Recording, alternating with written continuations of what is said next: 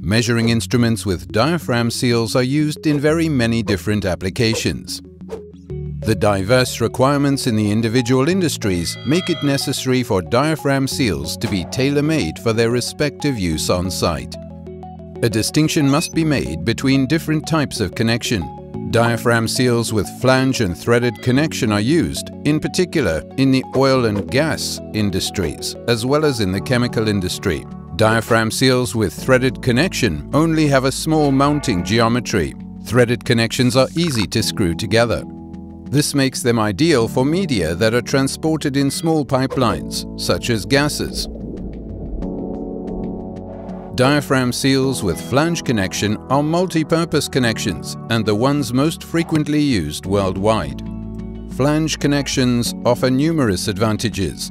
Their mounting prevents the capillary line or the already connected cable from twisting. The larger pipe diameter also allows for highly viscous and flocculent media.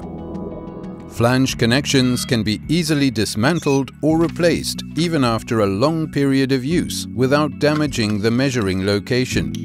Diaphragm seals for sanitary applications are used in the food and beverage industry as well as in pharmaceuticals and biotechnology, where high hygienic standards are required.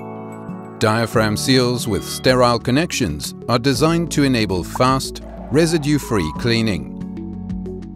For all three connection types, there is a large portfolio of Wika measuring instruments available.